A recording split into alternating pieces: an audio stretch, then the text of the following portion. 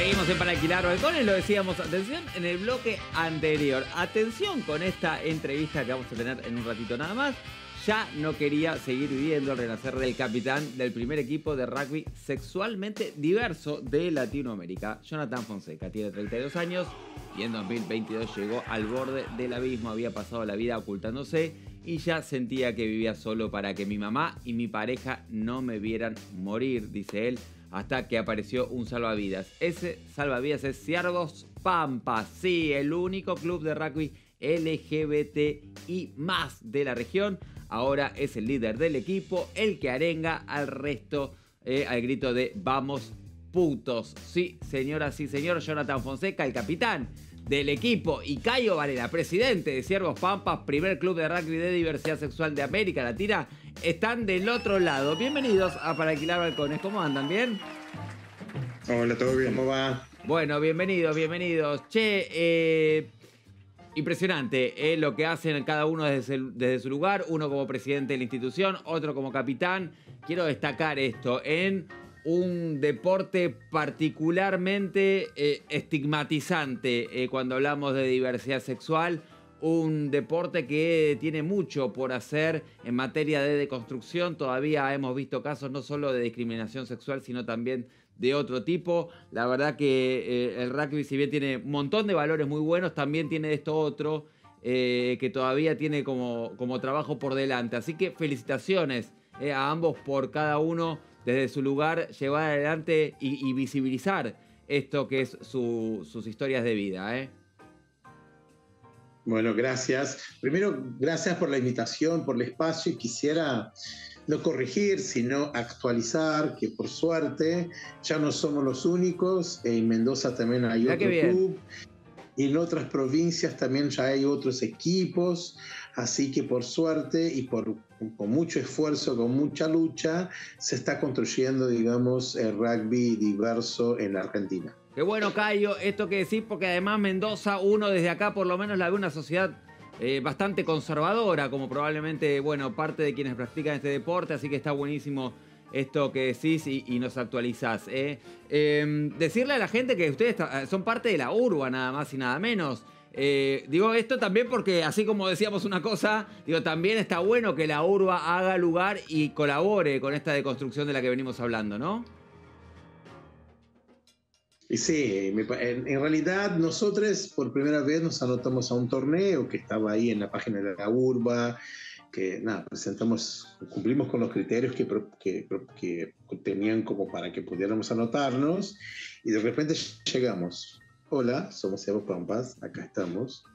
Y eh, a partir de ese entonces eh, eh, pudimos encontrar con obviamente una muy bienvenida de la urba y, bueno, y estamos desde 2016 participando de un torneo oficial que se llama Torneo Empresarial. Bien, bueno, y, Jonathan, contame vos, ¿no? De esta situación eh, que has vivido, esta historia de vida personal, realmente, eh, bueno, muy, muy, difícil para vos, te, costó mucho porque hay una sociedad que, que, que bueno, que no, muchas veces eh, no era y todavía no lo es en algunos ámbitos tolerantes a, la diversidad sexual. Eh, en este caso, por lo que vi, el, tema de la pandemia también fue un disparador, ¿no? Lo que nos pasó quizás a, muchos y a muchas, esto de darnos cuenta de la finitud de la vida, que hay que, bueno, dar algunos pasos, tomar decisiones que tengan que ver más con los deseos personales. Y, y algo de eso pasó en vos como para poder, bueno, enfrentar lo que significaba para vos esta esta identidad sexual? Sí, mira, hay un, un común denominador de, todos los que pertenecemos al, club de rugby y es que hemos pasado por episodios, eh, directo o indirectamente, de, homofobia. La, la pandemia, digamos que fue algo más de la vida, pero no, realmente no fue un, un centro que me hiciera eh, digamos que modificar mm, mi conducta o lo que yo estaba pensando alrededor de lo que, de lo que me pasaba, de lo que le pasa a mis compañeros, porque obviamente después de ingresar al, al club, estar enterado también de la historia de mis compañeros, de mis compañeras, compañeros, eh, enriquece también el, la construcción colectiva por la que estamos haciendo nos permite de alguna u otra forma eh, poner en la mesa temas que se deben hablar y sobre los que es evidente que hay que seguir reflexionando y hay que seguir trabajando. Total, absolutamente. ¿Y, cómo es la...? Mm, porque entiendo que en esa liga eh, juegan todes. Cuando decimos todes, todes, todo, todo tipo eh, de, personas. bueno, y, y, entonces, ¿cómo es la recepción? ¿no? Ahí, ¿Sufren también discriminación o está absolutamente naturalizado el hecho de que, bueno, que haya personas con, diversas eh, afinidades o gustos o deseos o que se autoperciban como, como deseen hacerlo, digamos? ¿Esto está naturalizado o no tanto?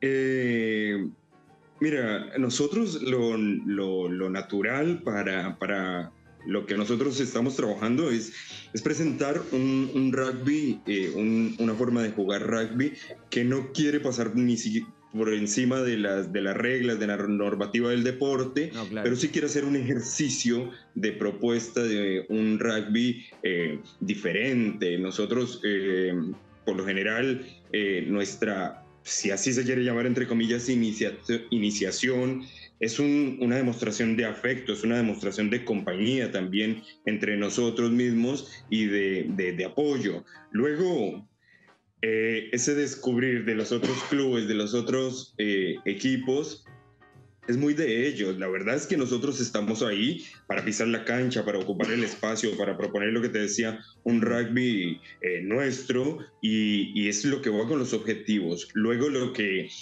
ellos quieren pensar Mm, nos da una perspectiva, pero no es un detonante en el trabajo eh, colectivo que nosotros hacemos ni deportivamente ni como, como club con nuestras otras actividades que tengamos. ¿Y, cuál es esa perspectiva? Sí, escucho, escucho. No, no. No, no, que, que, tenemos que entender que nosotros vivimos en una sociedad patriarcal, por ende homofóbica.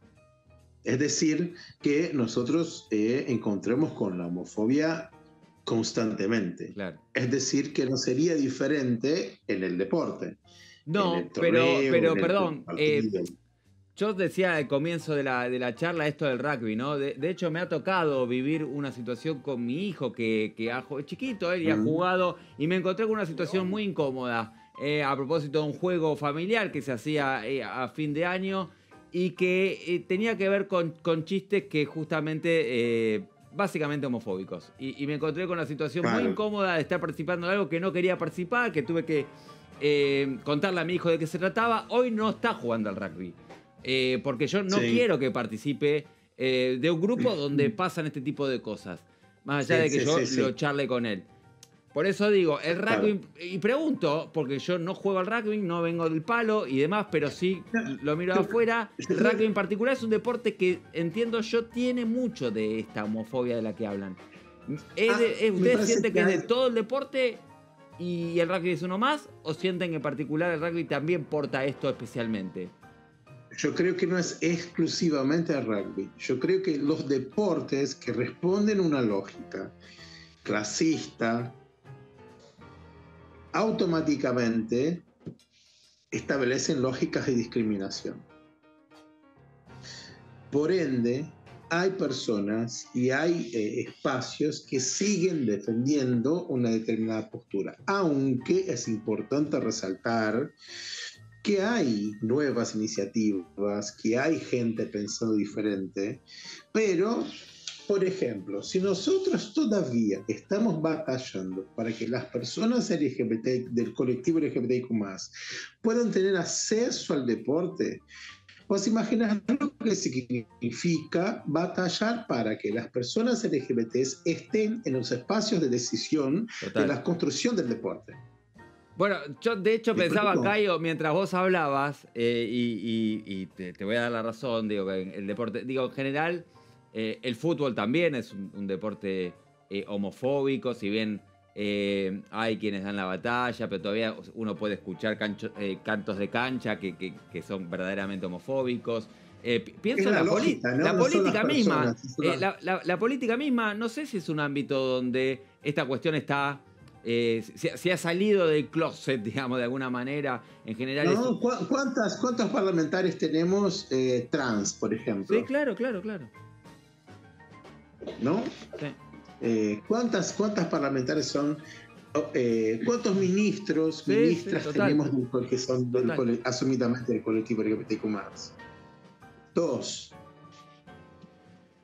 Contamos en la mano, es decir, cuando nosotros estamos hablando de esto, nosotros no estamos hablando meramente de representatividad, nosotros estamos hablando de desigualdad. Desigualdad a partir del género y de la orientación sexual de las personas. Mm. Sí. Y por lo tanto, es un debate más profundo, por supuesto, que nosotros tuvimos que, que aprender a hacerlo y seguimos aprendiendo a hacerlo desde la práctica porque nadie nos enseñó, porque los espacios están construidos para no hablar de esas cosas. Total. Yo suelo decir, obviamente de una provocadora, que eh, la educación física no es educación física, es educación física para personas heteros normadas. Sí, absolutamente. ¿Entiendes? Sí, sí, total. está pensado, está, está todo planificado para responder a esas personas.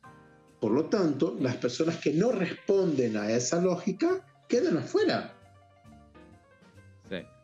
Em, la verdad que es interesantísima. La charla, no, tenemos mucho más tiempo, pero, pero bueno, nos parece bárbaro, eh, muy, muy interesante poder charlar con ustedes y, pensar esto que estamos hablando. De hecho, eh, me han hecho reflexionar a mí también, ¿no? Que esto que decíamos, que no es solo una cuestión del rugby, sino más bien del deporte de la política en general, ¿no? Y cuando decimos la política pensamos de un, armado, eh, una mirada sobre la sociedad toda, incluida el deporte. Eh, les hago la última, eh, porque no tenemos más tiempo. ¿Qué pasa con el tercer tiempo? Es un ámbito donde, primero si se realiza y segundo si es un ámbito donde se puede, por ejemplo, tratar este tipo de cuestiones, si se puede visibilizar esto o no, y es simplemente el tercer tiempo como de cualquier partido de rugby. El tercer tiempo es un espacio, eh, digamos que a menos llevado con el, el, otro club, pero también es nuestro espacio precisamente para generar eh, esas conversaciones de lo que pasa dentro de la cancha. Eh, así que es una oportunidad más en la que podemos incluso mezclarnos con, con, con, los demás chicos, con los demás chicos del otro club y poner sobre la mesa precisamente esos temas que pueden pasar en la cancha que deberían eh, modificarse para tener, digamos que, una competencia mucho más eh, amena dentro de todo, pero también con entendiendo qué es lo que pasa y qué consecuencias trae cuando las cosas no deben, no funcionan como deberían. Sí, una cosa es un deporte que obviamente es un deporte de contacto y nos encanta que sea así. Es un deporte que tiene atrito, que tiene, bueno, choque, que, que incluso es un deporte que es común que haya lesiones, justamente por eso. Lo otro es que te digan, anda a jugar con las muñecas porque acá juega rugby. Total. Sí, sí, sí. O que un árbitro que vos digas, mira, nuestra camiseta es rosa y él te dice, no, no es rosa, es roja Dice, no, es rosa, es rosa, nuestro color es eh, fucsia. No, no, yo voy a poner acá rojo porque yo veo que es rojo. O sea, negando nuestra identidad. ¿Hola? Sí, sí, escucho, no, escuchaba atentamente. ¿Estás ahí? Perdón, yo pensé que estaba... No, no, no, lo estaba escuchando. Eh, entonces, bueno, cuando vos, cuando vos ves que nosotros ni siquiera podemos decir, che, nuestros colores somos los que identificamos nosotros, es porque se está estableciendo una lógica que nos dice que no debemos estar ahí. O, si estamos ahí, que nos adaptemos, que nos adecuemos, que obedezcamos una determinada lógica que no es la nuestra.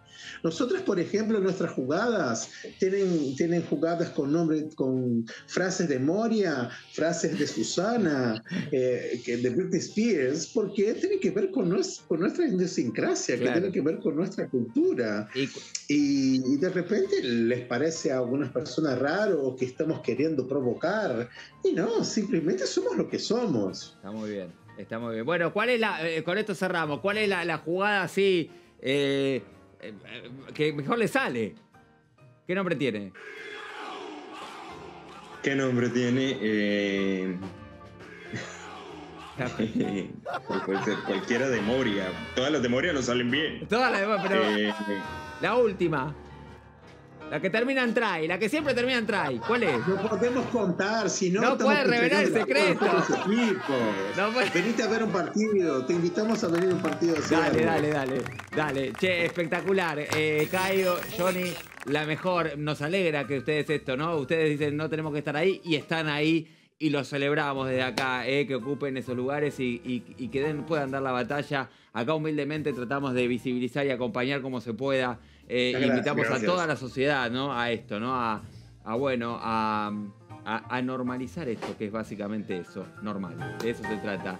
¿eh? Eh, así que muchas gracias de verdad por su testimonio y por la batalla de tanto, de tanto tiempo que ha costado vidas, nada más y nada menos. Por eso está bueno.